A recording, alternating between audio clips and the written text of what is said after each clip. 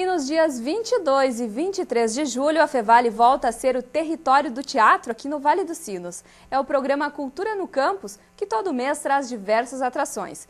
No dia 22, o espetáculo Sacra Folia narra a história da perseguição da Sagrada Família, ou seja, de Jesus. O espetáculo vem carregado de humor, misturando elementos do sagrado e do profano, que faz uma sátira da realidade brasileira. Já no dia 23 é a vez da peça Inimigas Íntimas, que tem no elenco Ingra Liberato e Fernanda Carvalho, Leite. As duas atrizes vivem situações engraçadas na preparação de um jantar que é, na verdade, um encontro de acerto de contas entre as duas ex-melhores amigas.